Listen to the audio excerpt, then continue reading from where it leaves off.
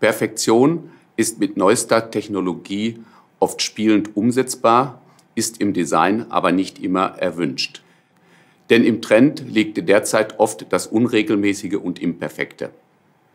Handgefertigte und verwitterte Materialien werden bewusst genutzt, um damit das Perfekte mit Emotion und Natürlichkeit aufzuladen.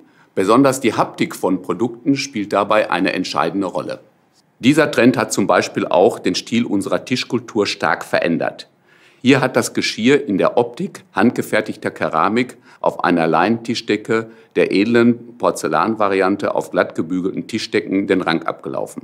Auch dieses Badezimmer zeigt einen solchen Trend. Während die Badewanne und der Waschtisch für einen modernen und perfekten Trend stehen, sorgen der Fußboden und der Wandbelag für ein perfekt imperfektes Ambiente.